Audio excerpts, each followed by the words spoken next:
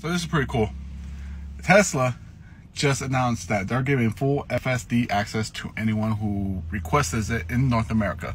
So I think that's going to consist of Canada, Mexico, and us in the United States. Uh, normally, you have to go through a whole screening process. You know, you order something that's you fifteen thousand dollars, but you can't have it right away.